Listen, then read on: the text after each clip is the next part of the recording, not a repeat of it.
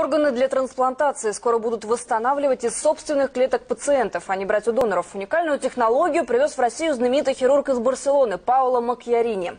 Он Испанского ученого-хирурга-трансплантолога с мировым именем Пауло Макиарини встречали в Москве в научном центре хирургии имени Петровского. Надев бахилы, спецодежду и маску, автор сенсационной методики регенерации человеческих органов прошел в операционную, где врачи запускали остановленное сердце.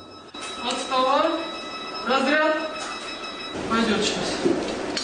Пошло. Сейчас здесь проходит сложнейшая операция по аортокоронарному шунтированию. Профессор Макиарини знакомится с возможностями российской хирургии. И в дальнейшем здесь будет проводиться операция по трансплантации трахеи, а в будущем, возможно, и легкого. По новейшей методике Макиарини пораженную трахею теперь можно восстанавливать с помощью специального молекулярного состава, прорастить на ней новую ткань и даже сосуды. И все это на основе генетического материала пациента, взятого из его костного мозга. И самое главное, благодаря новой технологии биоимплант не отторгается, а значит не нужно всю жизнь принимать лекарства.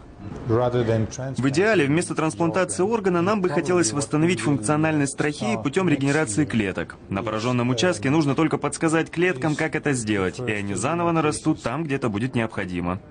Речь идет о том, что создается, грубо говоря, биологический макет. Да? Чтобы, а, он был биологический, чтобы не было отторжений, да? Чтобы он был достаточно устойчив к инфекции. Вот какие-то такие моменты. И если мы имеем набор такой, набор размеров, да, и так далее, расширяются возможности хирургии.